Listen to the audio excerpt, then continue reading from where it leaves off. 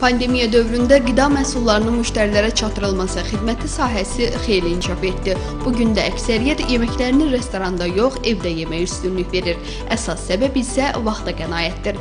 Yay aylarında isti hava şəraiti məhsulun keyfiyyətinə daha çox təsir etdiyindən çatdırılma xidmətləri bu aylarda daha diqqətlə işləyir.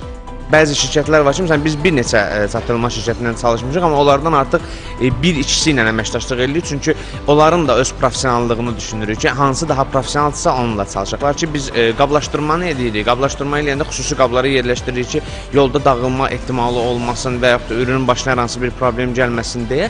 Amma biz onu e, artıq kuryerə verdikdən sonra məsuliyyət bizim üzərimizdən çıxır və bu artıq kuryerin məsuliyyətində olan bir şey olur ki, daha diqqətli insan olsa, daha məsuliyyətli yanaşsa, heç bir problem olmadan artıq ünvana çatdırılmış olar. Ən əsas məhsulun ə, müştəri tər sifariş verən müştəriyə tez çatdırılmasına diqqət olunmalıdır ki, ə, havanın isti olmağı ilə bağlı ə, xarab olmasın, problem olmasın. Biz ona çox ə, önəm veririk, diqqət edirik.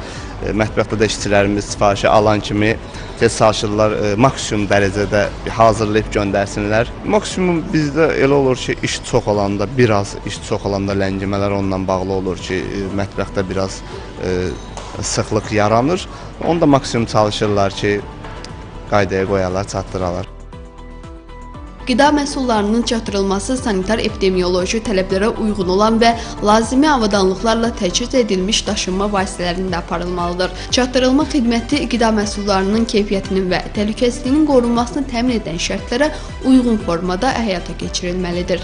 Soyuq zəncir prinsipində daşınmalı olan məhsullar soyuducuda və ya soyuq termobokslarda daşınmalıdır. Çatdırılma xidmətini həyata keçirən müəssisələr daxilində isə sanitar və gigiyenik tələblər yerində xidmət göstərən ictimai yaşam müəssisələri ilə eynidir.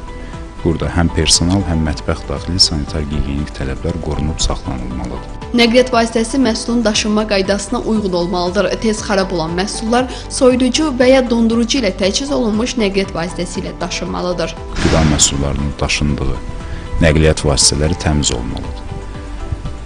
Müntəzəm bir şəkildə dövrə əhəmiyyət daşıyacaq şəkildə dezinfeksiya prosesi həyata keçirilməlidir. Dezinfeksiya edici maddə e, qida məhsulu ilə təmas edən səth və qida məhsulu arasındakı uyğunluq qiymətləndirilməlidir. Dezinfeksiya edildikdən sonra mütləq bir şəkildə həmin qida məhsulu ilə təmas edən səthi və ya nəqliyyat vasitəsinin hissəsi su ilə durulanmalıdır, havalandırılmalıdır. Yalnız qida sahəsində istifadə üçün təsdiq edilmiş dezinfeksiya edicilərdən istifadə olunmalıdır. Yeməklər qeyri-ərzaq məhsulları ilə birlikdə daşınmamalıdır. Qida məhsulunu hazırladıkdan sonra 3 saat ərzində istehlak edilməsi tövsiyə olunur. Aysiman Aslanova, Elxan Novruzov, Telesəhər.